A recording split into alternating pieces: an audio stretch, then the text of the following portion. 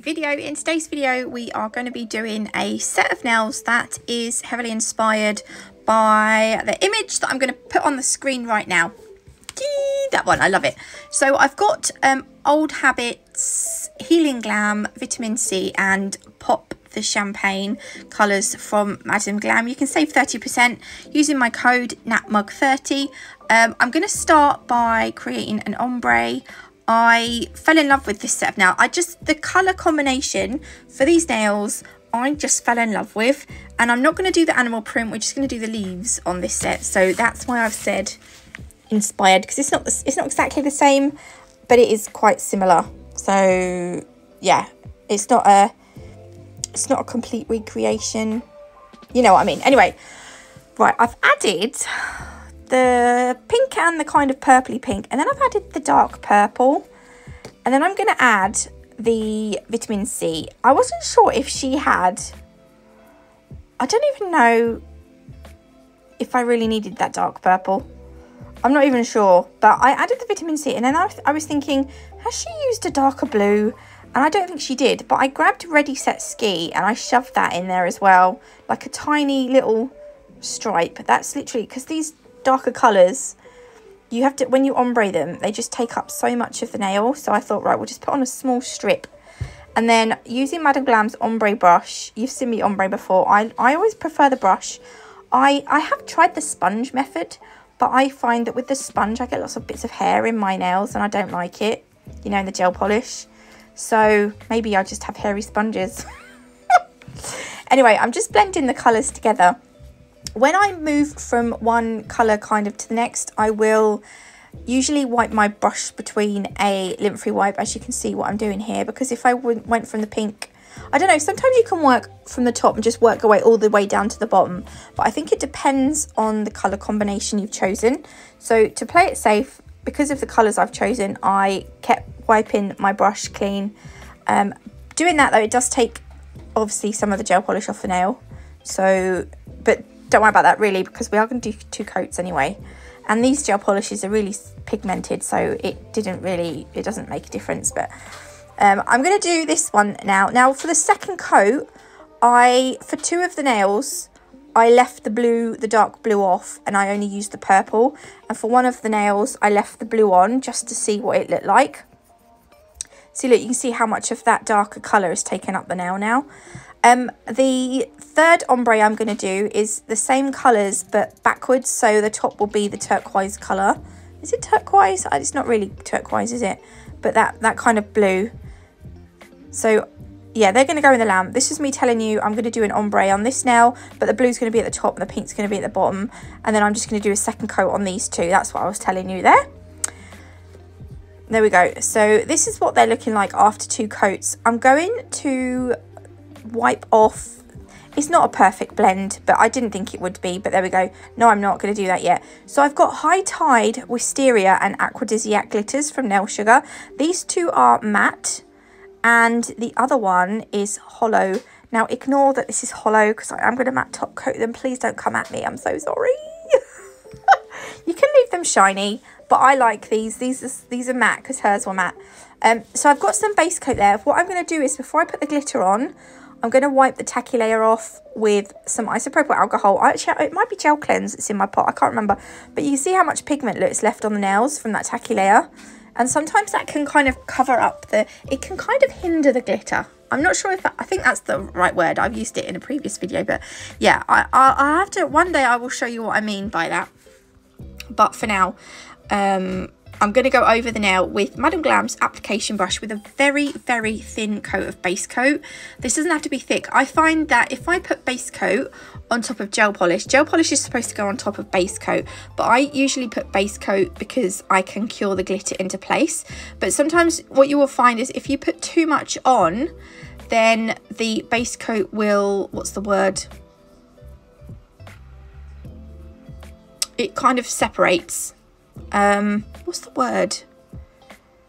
Like you'll put it on and you'll see it start to, oh, I can't think of the word, but it makes like, it, oh, I can't think of the word. It's going to bug, bug me. Anyway, right, for this nail, what I've done is, right, right, on all the nails, when I put the glitter on, what I'm going to do is, is if there's pink, then I'm going to start with the turquoise glitter. Then I'm going to go for that darker blue glitter. Then I'm going to go down to the lilac-y wisteria glitter on the blue. So we're kind of working the opposite way with the glitter because when we matte top coat these, um, metallic glitter matte top coated just looks stunning. You'll know what I mean at the end. but it looks really, really nice. And it really makes the colours pop. Like here, you can't, I find that because they're so shiny, you can't really, it, they just look kind of dark. Do you know what I mean? Unless the light hits them and then they go kind of shiny. But when they're matte top coated, the colours really pop. So on this nail, I decided that I was going to do a, um, like a, a little cluster of glitters in this top right hand corner and then I was going to repeat the kind of glitter cluster in the bottom no this is left the top left hand corner right and then in the bottom was going to be the bottom right but because the bottom like narrows down because they're like stiletto tips I kind of just make the cluster I put it on at kind of an angle do you see like, so the angle follows the angle of the top one. Do you know what I mean? I think you'll know what I mean.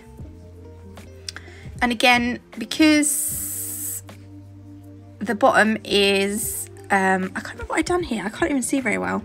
I did add some lilac down the bottom, but I think I used a lot more of the, the blue glitters at the bottom because it was very pinky. So I'm just going to as well, because I thought like these were, the glitter was a little bit too high up the nail. So I'm just bringing it down a little bit before I cure it. And then once I am happy with that, I will pop that one into the lamp to cure for 30 seconds. I'm using Madam Glam's Elio lamp, by the way. Some people ask me what lamp I use. Um, and then this last nail, I thought, you know what? We're just going to do like a whole nail of glitter, but it's not going to be like a full coverage. We're just going to do like a, a scattering, but the whole nail. So again, I've started with the blues at the top. I start with the Aquadisiac glitter at the top. I think, or did I put the, I don't even know. Anyway, look, that's covered fully. I'm going to pop that in the lamp. And then what I'm going to do is, because we've added glitter and I want to draw on these, I want to make the nails smooth. So I'm going to go over with a layer of base coat. That's going to help smooth the nail out. And then I'm going to go over with a layer of the Little Pinks matte top coat once I've cured the base coat. You could use, instead of base coat, you could use a thin layer of builder gel, but you might just need to file and buff the nail if you've, you know, just to make it, you know, not look bumpy or anything. Um, but I'm not going to do that on these because they turn out all right in the end. Look, see? Ta-da! Can you see what I mean by the colour popping? Oh, love it! So this is where we're at. I am going to do another nail, by the way. I do a nail of the lilac pink, which is Healing Glam. I do a full nail of that. I was only going to do three nails, but I decided that I needed to have four for what I wanted to show you. Um, if I was going to do another nail, I would do just a plain colour on that nail as well. So we're adding the detail now. I love these kind of leaves. I know I, I think I've probably done them quite a lot last summer. I just feel like they are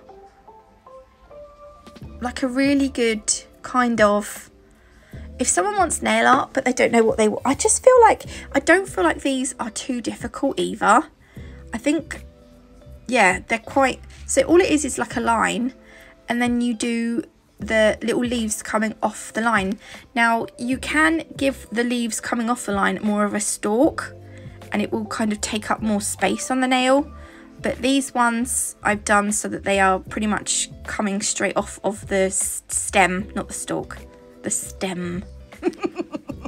Actually, I don't even know if that is called a stem on a leaf, on a, on a, I can't even, you'd think I'd remember the names of leaves that I create because I probably said it like last year. Oh, I don't know what you'd call this leaf shape, but I'm sure probably several of you commented saying that's a blah, blah, blah, blah, blah. And and I yeah I just I forget these things. Anyway look I've done two lots of those. And then I'm also going to add she had on hers some little little like berries. I don't know what this was here. It took me a little while. I had to think a bit then what I was going to do and and then I thought just go with it. Just I done a little curve line and then I added some little like berries on and I'm going to do the same on that one. And I've got a tickly throat. I'm going to add some berries down here as well just a few and some up here as well. Not as much as the previous bunch of berries but just a few. And then yeah some up here as well. And then I'm going to repeat this on one of the other nails but I do the leaves going in the other direction. So that's going to go in the lamp. Because I've used the gel paint, oh, by the way, I'm using Madam Glam's gel paint. And you can work on top of finished, like top coated nails. But you need to make sure you cure them for 60 seconds because they're very pigmented. So the crystals that I'm using are from Crystal Parade. These are Preciosa, I want to say Navettes. These ones, they're tiny, but I love them. They used to do these, but they probably still have them actually, big ones. Um, these are, no, they're navettes. What are the other ones then? Marquise? I can't remember the shape of them, the name of the shape. And then I've got some round AB crystals as well. They're Preciosa. And then I've got these like sticks and these little charms. I don't know what you want to call them. Um, and I'm using Rachel Wilder's Crystal Fix. See, look, I've done a full nail of that that kind of pinky lilac because I like this colour. Um, on the top, I'm adding one of the Preciosa Navettes. I'm going to just flash cure that. Then I'm going to add a little line, a quite thin line.